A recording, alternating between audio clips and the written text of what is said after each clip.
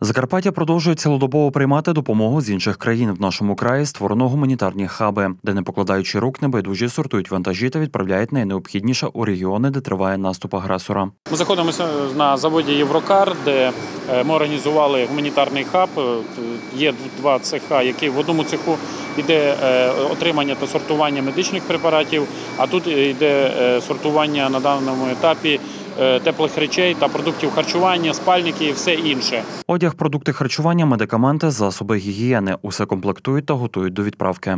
Були отримано також декілька вантажівок з Словацької республіки, які ми розміщаємо на цьому складі, і відповідно до потреб уже того чи іншого регіону ма- ми підтримуємо діалог з кожним з кожною е, областю, де від- відбуваються бої. Е, Відповідно до їх замовлень ми вже відправляємо на той чи інший регіон. Віктор Микита каже, Закарпаття та нашу державу продовжує підтримувати низка країн.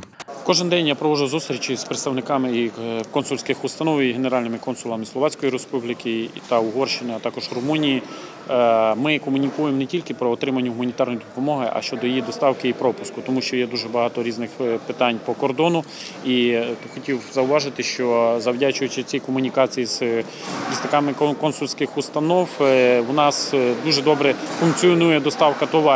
Крім цього, ми спілкуємося з ними щодо отримання щодо е, передачі їм наших біженців, яких ми фактично передаємо з руки в руки. І ми добре розуміємо, е, де саме будуть розміщені наші громадяни, яка буде їм надаватися допомога, е, харчування і все інше. Підтримувати один одного, об'єднуватися та допомагати саме спільними зусиллями вдасться перемогти ворога.